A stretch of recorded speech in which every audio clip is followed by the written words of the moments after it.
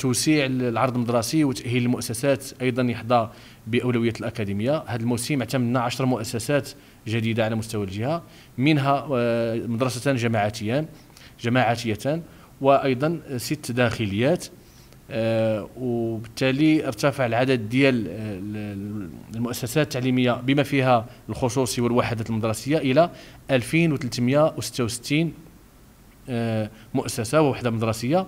وهو أمر طبيعي بالإضافة إلى بالاستناد إلى أو بالنظر إلى خصوصية الجهة اللي كتعرف تطور آه، في جميع الفئات سواء آه، يعني 6 11 سنة أو 12 14 الإعدادي أو 15 17 وبالتالي كان لزاما أنه نواكبوا هذه المشاريع باحداث هذا التزايد في عدد التلاميذ بإحداث مؤسسات تعليمية جديدة.